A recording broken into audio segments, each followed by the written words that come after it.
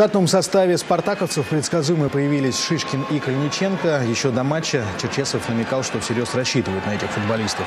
Ну и хочется сказать о том, что матч фактически в 40-градусную жару проходил. У хозяев же главная перемена случилась не на поле, рядом с ним. Теперь рядом с Бровкой команда руководит Вячеслав Грозный, который когда-то работал в «Спартаке». Мы помним это помощником Олега Романцева. Клинченко вытеснил из состава Быстрова, которому не очень доверял на Еврохидинг. Сейчас, похоже, не очень доверяет вот в данные минуты и Черчесов. Ну и мы видим, что в первом тайме красно-белые смотрятся посолиднее, поувереннее. И на перерыв команда гостей уходит выигрывая. Максим Калинченко после передачи Титова, блистательно отыгравшего первый тайм, забил свой первый гол в этом чемпионате.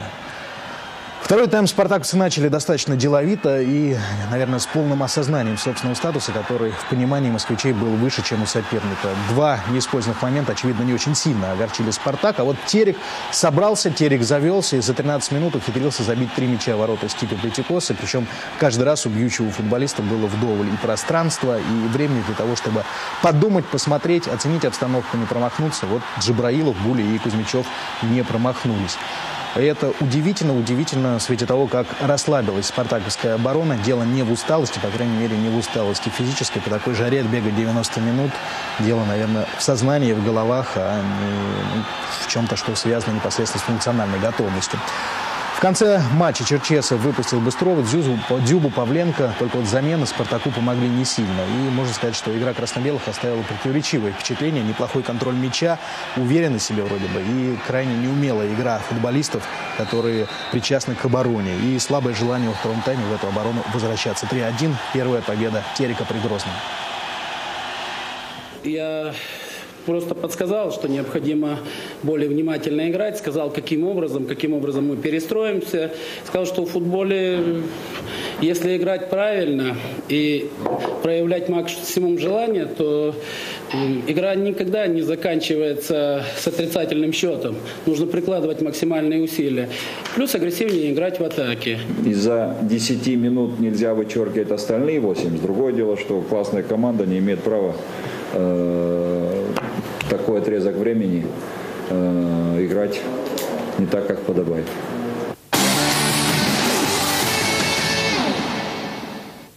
Вам в свое время довелось с Грозным поработать? А, нет, мы с ним были хорошие друзья. Мы еще, я, его, мы с ним познакомились еще в 90-м году, когда я работал в СКА Одессе, он возглавлял Ниву Винница. Когда мы познакомились, как бы общий язык нашли, с тех пор у нас э, такое хорошее отношение. Вы звонили ему, поздравили с победой? Нет, еще нет. Я просто вчера все матчи смотрел, не успел. Тогда объясните, как же так получилось, что Терек впервые забил в премьер-лиге три мяча и обыграл «Спартак»? Ну, я думаю, здесь э, больше вина «Спартака» самого.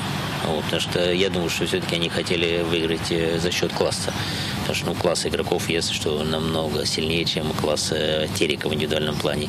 И думаю, так складывалась игра, особенно в первом тайме, что они легко играли не напрягаясь, не напрягаясь. И забили голы. В первые 10 минут второго тайма в таком же плане моменты были, они их не реализовали.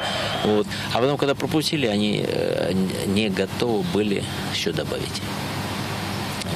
И, естественно, они сразу все потерялось у них. И уже и класс потерялся, и индивидуальное мастерство потерялось, а больше суеты стало, вот, спешки. И, естественно, в таких моментах плюс э, перестали в оборону возвращаться. И, и те грубые ошибки, которые пустили в обороне, это ну, для классной команды не гоже.